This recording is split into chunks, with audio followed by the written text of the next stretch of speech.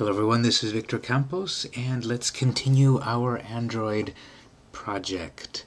So at this point uh, the project itself is done.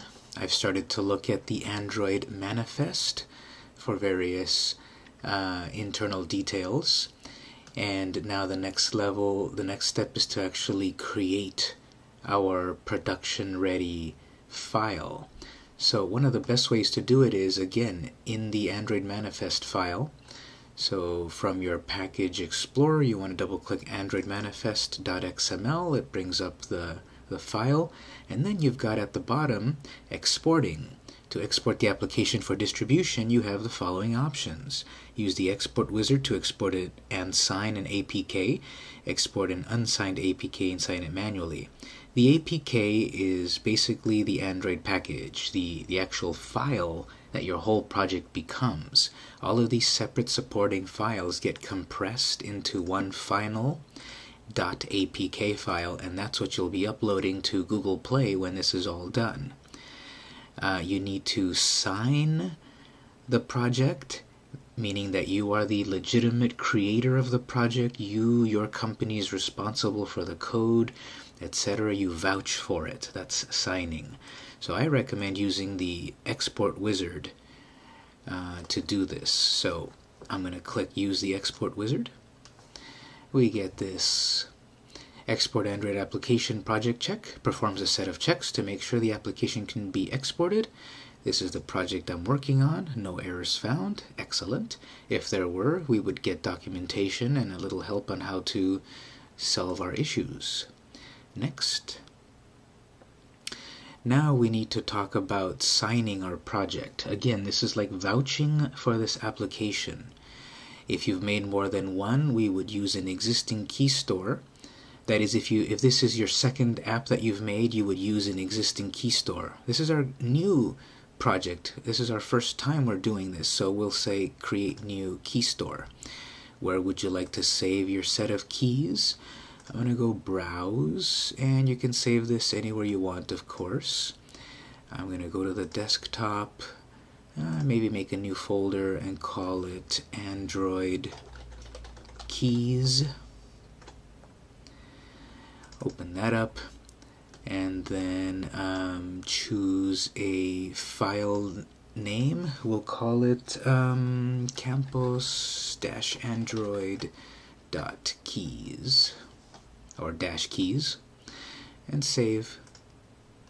So this is where all of my my keys will go, my my certificates and such.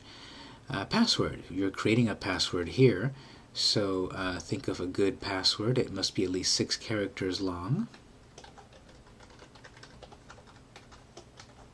Confirm it.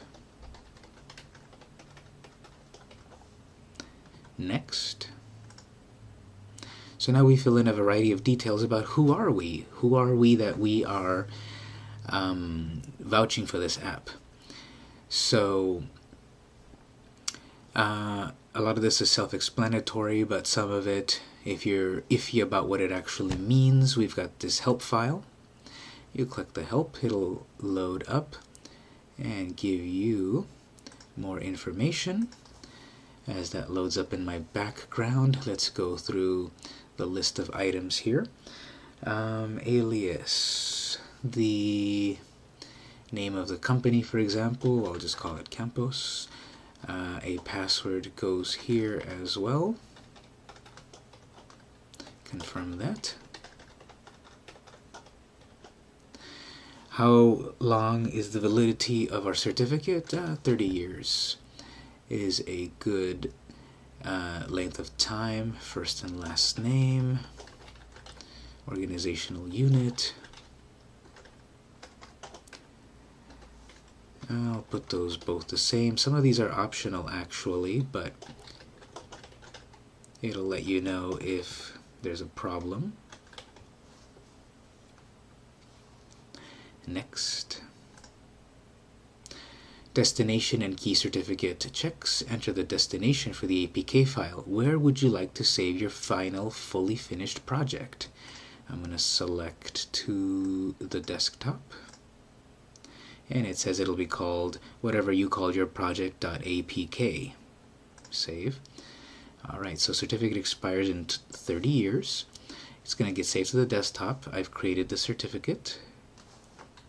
Click Finish. It's going to take all of the pieces of our project, our graphics, our text, our code, our CSS, our JavaScript, everything, and it's going to compress it down and optimize it and then kick out a .apk file to the desktop. So if I minimize, go to my desktop, there's my file, thecampos.app.apk. It is a 2.36 megabyte file, pretty compact.